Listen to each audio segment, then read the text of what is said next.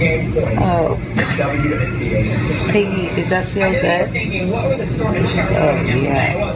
Anthony Jones, a three-yard With good touchdown to celebrate. That's good, sweetie. Oh, I know. Daddy knows how to do it.